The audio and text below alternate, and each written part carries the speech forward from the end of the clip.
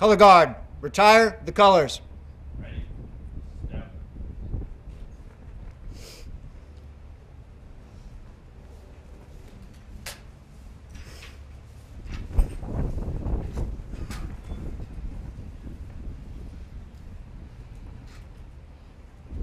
Ladies and gentlemen, Lieutenant Commander Paul Smith, Chaplain Corps, United States Navy, will now offer the invocation. You'll please join me in prayer. Gracious God, we would ask that you would hear, on behalf of the citizens of this great nation, our endearing gratitude for the members of Underwater Construction Team 1, Detachment November Mike, 1985.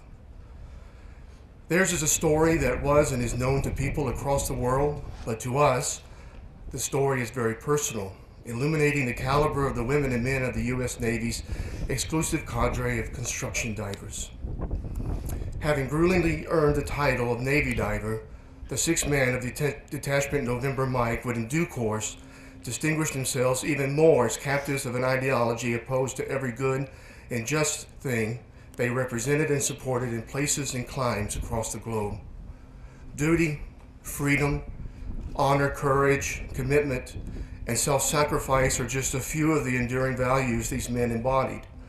And we stand here today to vigorously articulate as representatives of our great land that these values do sustain us in the valley of death's shadow and are even greater than ourselves and do at times claim the supreme sacrifice mirrored by Petty Officer Robert Stethem.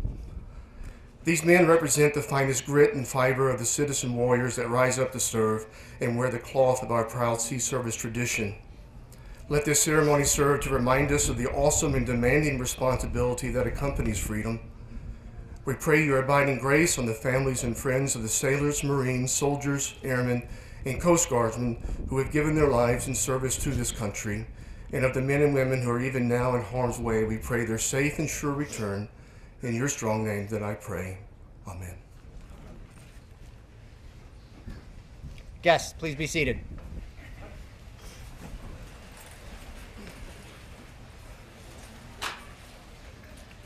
Ladies and gentlemen, welcome to the ceremony to recognize the members of Underwater Construction Team 1, Detachment November Mike 85, whose actions during the events of June 1985 we honor here today.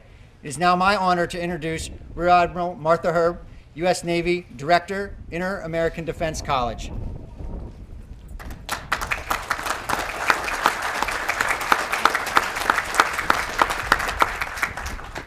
Good morning. Hope you're warm enough. Whoever thought that we'd have to worry about the temperature on this fine day in April? Secretary Mabus, Rear Admiral Gregory, Rear Admiral Fowler, Rear Admiral Morneau, Rear Admiral Yabar, Rear Admiral Morton, Rear Admiral Drennan, Rear Admiral Nash, Rear Admiral Boone, family of Petty Officer Robert Stethem, divers of UCT 1, Det November, Mike 85, veterans of Vietnam, Iraq, and Afghanistan. It is my honor and privilege to welcome you to the Inter American Defense College. For a moment, I'm going to tell you a little bit about this great facility. We are an international senior service college chartered under the auspices of the Organization of American States and hosted by the United States at Fort McNair. Our students hail from 14 different nations in the Western Hemisphere. 33% of our graduates have become flag officers or general officers, ministers, ambassadors, and high ranking government officials, and even three have become presidents. IADC serves as tangible evidence of the shared cooperation and relationship building between the United States and the Americas. We at IADC are extremely honored to host this ceremony in which these distinguished members of UCT 1 Det November Mike 85 will be awarded the Prisoner of War Medal. To the Stethems, we can never fill the space left in your heart from the parting of your son, but we can show you that he is not forgotten. To our special guest, we are so proud to honor your service for answering the call to duty. Less than 1% of our population volunteer to serve in the armed forces. Of those, only an, a few, an elite few rise to the challenge of becoming Navy divers. These are the ones who conquered the rigorous dive school training program and earned the right to serve proudly as Huya Navy Deep Sea Divers. It is this community's tenacious, can do way of thinking and approach to life that makes this momentous occasion finally possible. Take a moment, look to your left, to your right. Every Navy diver present today is connected to these men through our diving community. George Seltzer, who commanded Underwater Construction Team 1, was my classmate at the then Navy School of Diving and Salvage in Washington, D.C. Yes, I'm that old. I will never forget the day years later when George related to me it was his team of UCT divers on the hijacked TWA plane that filled the headlines in newspapers and flooded TV reports across the country. The emotion in George's eyes told the story. Kenneth Bowen served as one of my diving chiefs at Mobile Diving Salvage Unit 2, Det 608. I had never connected his name with the divers on the TWA flight until he shared his story. For 30 to 45 minutes, I sat spellbound as he narrated the story of his team, the pain he felt in losing his shipmate, Robert Stethem, and the stress those divers endured during their captivity. I hold him and his courageous shipmates in high esteem for their courage. Jeff Ingalls served with my husband and me at the Navy Diving and Salvage Training Center in Panama City. So, for a moment, permit me to share a little bit of how this ceremony transitioned from an idea or a notion to reality. It's a story of different sailors from different dive school classes working together and believing that yes was the only acceptable answer to getting the Prisoner of War Medal awarded to these men. Bobbie Scholley, retired Navy captain and deep sea diver, told me about a project that she was working on through the Navy Diver Foundation. This project was conveyed to her by retired bosun mate and Purple Heart recipient Keith Reyes. Do you see how the divers stick together?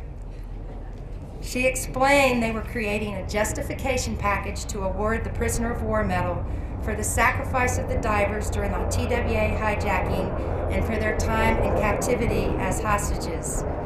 We brainstormed a few courses of action, trying to figure out how to fast track the packet for approval. And I'll leave that part out of the story.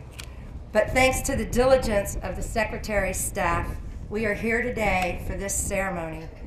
What a thrill to be included in a project to honor our own divers, an opportunity to give back to the team members who suffered so much, a chance to honor the family whose son gave his all. I salute these Navy divers and these Navy Seabees.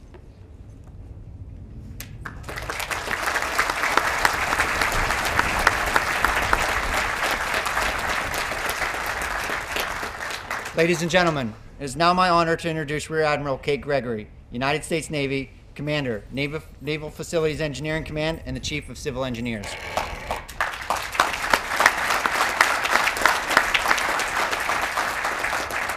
Good morning, Secretary Mabus, the men of Underwater Construction Team 1, Det November Mike 85, and their families, Admiral Morneau, Admiral Fowler, Admiral Morton, Admiral Drennan, Admiral Nash, Admiral Boone, Admiral Wagner, Admiral Yabar, Captain Schatz, uh, distinguished friends, veterans, uh, service members serving today in uniform, and pa past and present. Thank you all for being here today. This is indeed a momentous day. As Admiral Erb said, today we are really recognizing a unique group of men. Unique for many ways. Unique because they chose to serve their nation. Unique because they chose to serve in the Navy. Unique because they endured the rigorous training to be Navy divers, that elite group and unique because they also chose to be Seabee divers, underwater construction divers. Let me give you a brief history of the Seabees. It is short because the Seabees are a, a tiny part of our Navy and a relatively new part of our Navy. Seabees were established in the Second World War because our nation knew that there was a, a need for a unique capability. And so that those men were trained to be able to fight on those battlefields of World War II in the Atlantic and the Pacific. And they earned that reputation for can do and we build, we fight. And they were trained for that particular battle, and their icon is Ben Moreell, Admiral Moreell, who is the father of the Seabees. That tradition carried on through Korea and Vietnam. And in Vietnam, those battlefields were Southwest Asia, and that icon is uh, Petty Officer Marvin Shields and CB Team 0411. And they were able to fight that fight because we prepared them for that environment, that special skill they needed to fight the communist threat. But the men we're honoring today were not well prepared because we did not understand what that enemy was or what that battlefield was going to be. Those brave men instead displayed the honor, the courage, and commitment then that all of our sailors and officers aspire to demonstrate today. They showed honor in the spirit of our nation. They showed courage in the face of that tremendous strain placed on them while they were held hostage. And they were committed to fight, to fight together for their team, for their mission, and for their nation. That is the kind of dedicated service that we are here to honor today. And so it is my privilege to introduce our guest speaker, who really exemplifies also that dedicated service. We're fortunate today indeed to have Secretary Mabus because he knows the CB well, Seabees well, having served as the governor of the great state of Mississippi. He understands naval service, having served as a naval officer.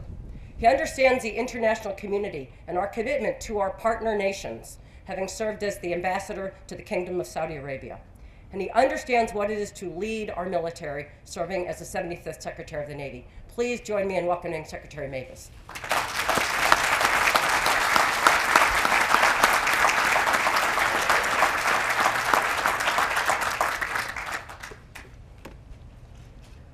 Thank y'all all, and forgive me for wearing a coat in here. Um, I'm from Mississippi. This time in April, it's not supposed to be this cold. So, Admiral Kate Gregory, Admiral Martha Herb, thank you for, thank you all for being here to mark such a special, if long overdue occasion. And thank you retired Captain Bobbie Scholley and Commander George Seltzer for getting this ball rolling, for your letters to me to urging that this be done. And most importantly, thank you to the many friends and family who loved and supported these courageous men through the terror they withstood and beyond. Through the many years, they all continue to serve our country with loyalty and humility. I'm proud to be here with you today to honor such bravery and such service.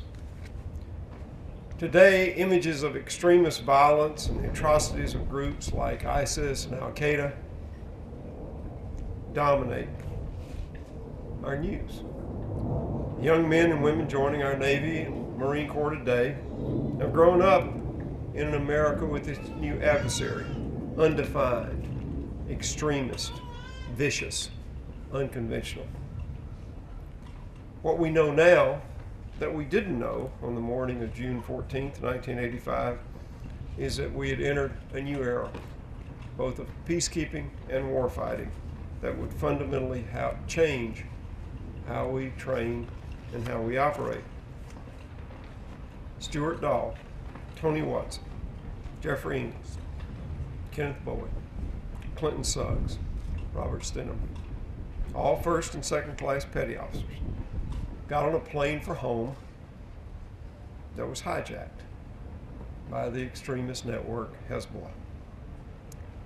What they endured on board that plane for the next 24 hours and in captivity for the 17 days that followed is a suffering that only those few who have shared similar experiences can ever fully comprehend.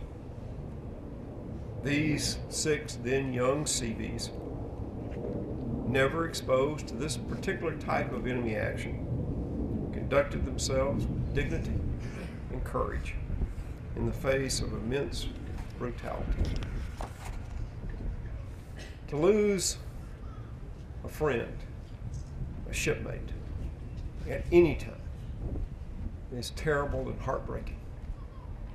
but for the five men here to watch an enemy take the life of their countryman, their fellow Seabee, Robert Stethem. This was before being taken captive, rendering that time for them even crueler, as they were forced to swallow their grief, faithfulness, and maintain the faithfulness we've come to expect from a U.S. service member. And in this, they never faltered. When I talk about the Navy and Marine Corps, I talk about our presence around the globe, around the clock. As America's away team, our sailors and our Marines are in the right place all the time, providing our nation's leaders with options, times of crisis, equally in times of peace and war.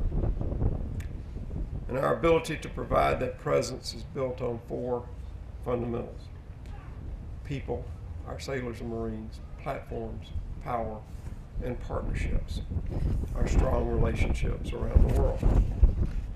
But people come first for a reason. Our sailors are the life force and the energy that drive the Navy.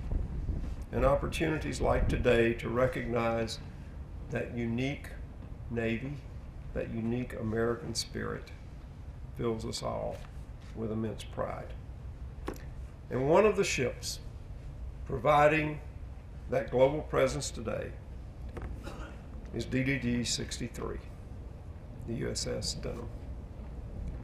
In the first year of her service, Stethem earned the U.S. Coast Guard Meritorious Unit Commendation Medal for search and rescue efforts for survivors of an Air Force C 130 downed off the coast of California. A ship's namesake imbues that platform, its crew, its mission with its spirit. And the Stethem is a great, great example of that. Destroyers are named for people who have displayed great valor. And although Petty Officer Robert Stethem is not here to receive the medal today, the ship that bears his name will continue to honor his memory and his heroism for decades to come through the sailors who have served and will continue to serve aboard that great ship and through all who come in contact with the ship. Now, this award was not authorized at the time of the tragic event, and so it is far, far past you. Every one of you five went on to serve the Navy for many years after this awful event. Through those years, you served honorably and helped shape the young men and women of the fleet that we have today. With exemplary nature, with the exemplary nature in which you handled the worst of times. I'm privileged be able to present this medal to each of you so that you know the Navy recognized the courageous action you took almost 30 years ago. But also, so Americans everywhere are reminded of exactly who the brave men and women of their Navy and Marine Corps are that defend their freedom and exactly what the cost of that defense looks like. To the parents Robert Stethem,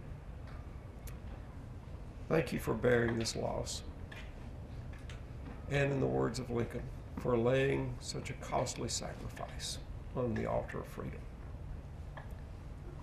Thank you all for your distinguished service, both in June 1985 and in the years that followed.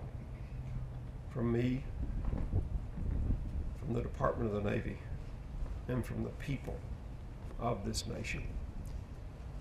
You are the epitome of Semper Fortis, forever courageous.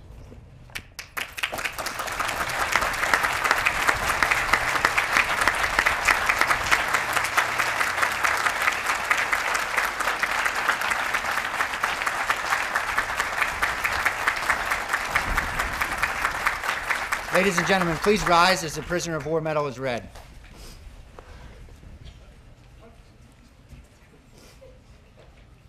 From Secretary of the Navy to Engineering Aide First Class, Diver, Stuart Dahl.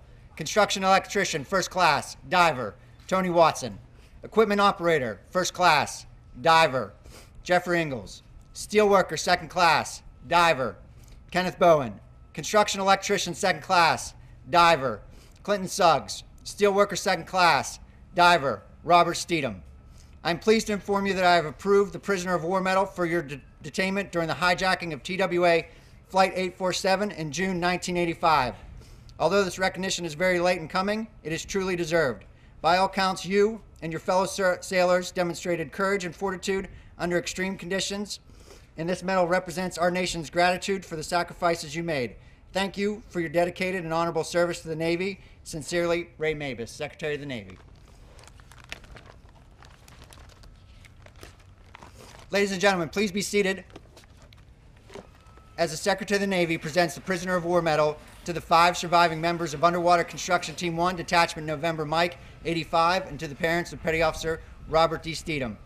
Commander George H. Seltzer, United States Navy, retired. The former commanding officer of Underwater Construction Team 1 will read the names and remarks about each sailor as he comes forward for his award.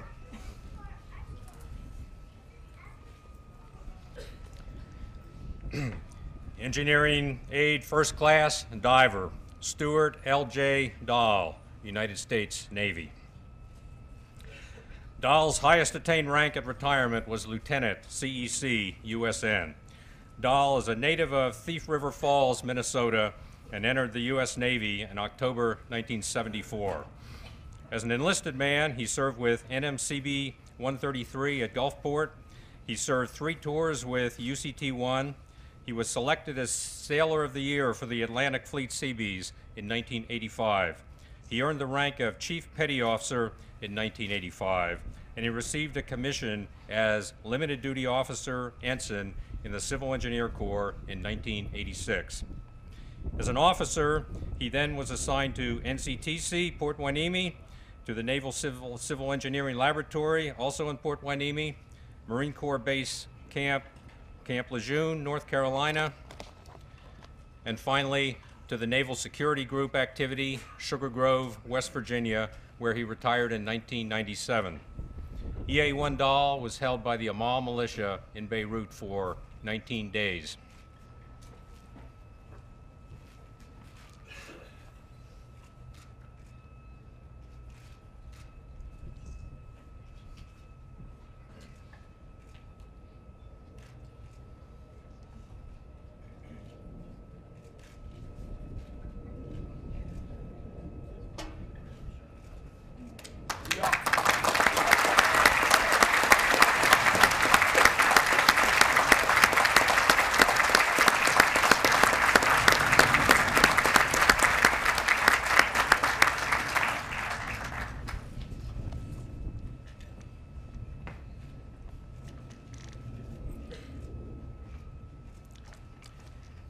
Construction electrician, first class diver, Tony D. Watson, United States Navy.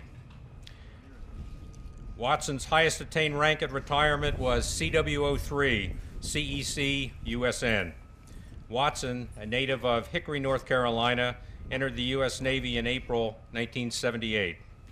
As an enlisted man, he served one tour with NMCB 1, completed Navy diver second class training at Harbor Clearance Unit 2 in Little Creek in 1981.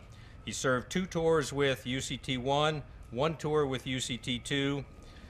Shore duty commands included CBU 418, Bangor, Washington, and NCTC in Port Hueneme. He was commissioned Chief Warrant Officer in May 1992. He served as Operation Officer for UCT 1 and UCT 2 and Delta Company Commander at NCTC. CE1 Watson was held by the Amal militia in Beirut for 19 days.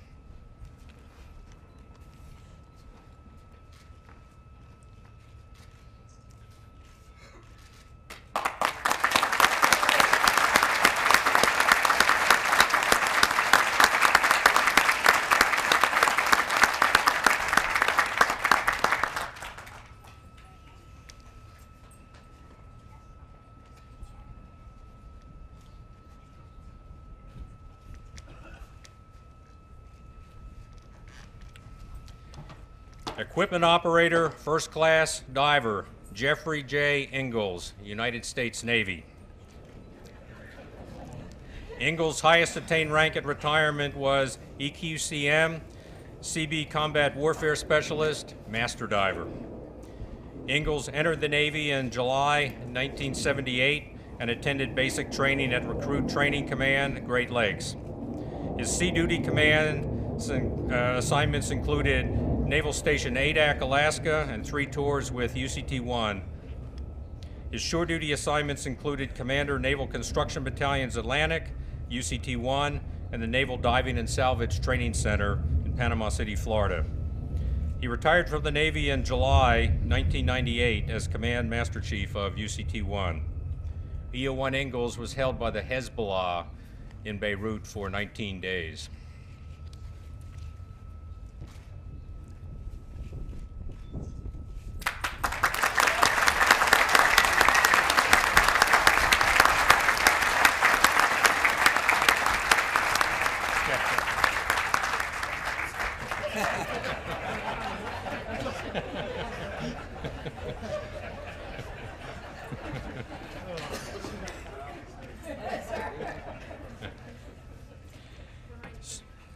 Steelworker second class diver Kenneth M. Bowen, United States Navy. Bowen's highest attained rank at retirement was CUCM diver. Bowen, a native of St. Petersburg, Florida, joined the Navy's delayed entry program in December 1978 while finishing his senior year in high school. His active duty assignments included Amphibious Construction Battalion 1 and UCT 1. He then left active duty and transferred to the Naval Reserve Force, assigned to a RNMCB 14 detachment in St. Petersburg, Florida. Bowen transferred to the Naval Diving and Salvage Unit 2 detachment at Mayport Naval Station in Jacksonville in 1986 and remained a member of that unit until his retirement in April 2004 as the Command Master Chief. SW2 Bowen was held by the Amal militia in Beirut for 19 days.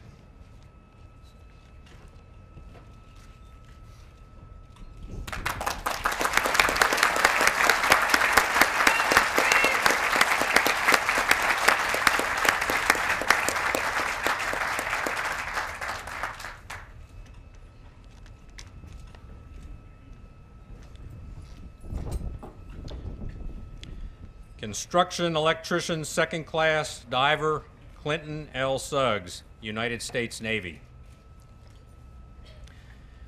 Suggs' highest attained rank at retirement was CE1, CB uh, Co- Combat Warfare Specialist Diver.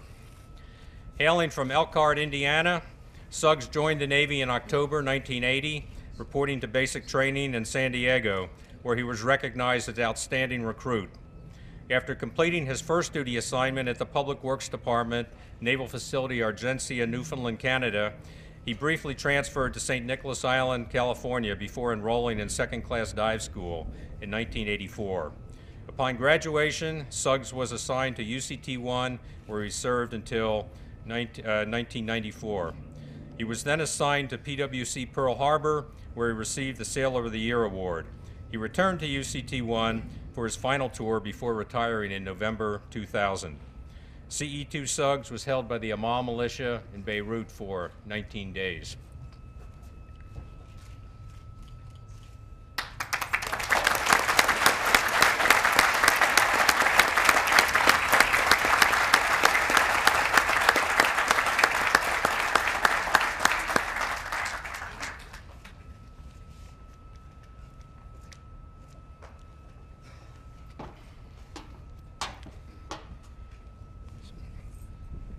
Steelworker, second class diver, Robert D. Stethem, United States Navy. Stethem, a native of Waterbury, Connecticut, entered the U.S. Navy in May 1981 and attended basic training at Recruit Training Command, Great Lakes.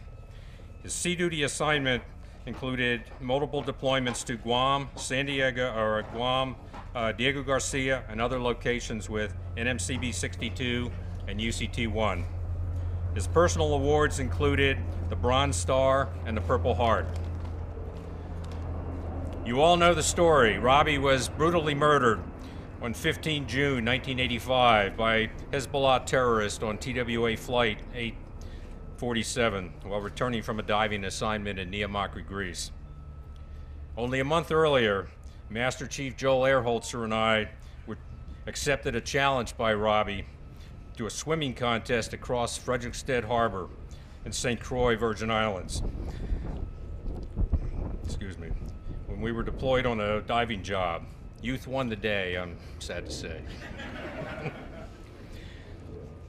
to honor Rob for his duty, honor, and courage, the U.S. Navy named Aegis Destroyer, the USS Stethem, DDG 63, to Rob. Rob's parents, Patricia and Richard, are accepting his award today.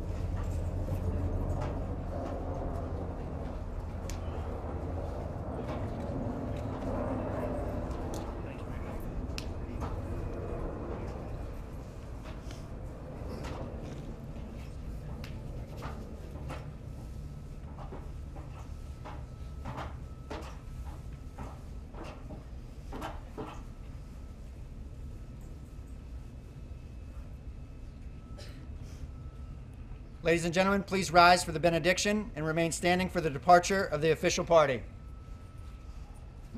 Chaplain Smith will now give the benediction. Let us pray.